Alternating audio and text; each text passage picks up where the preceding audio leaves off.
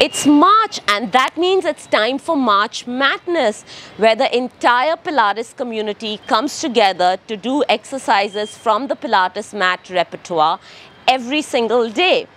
This year I'm starting an Indian March Matness movement where I want all of you to join me in creating this incredible community in India. I'll be posting seven days of exercises today and then the next seven next Friday. So stay tuned and join me.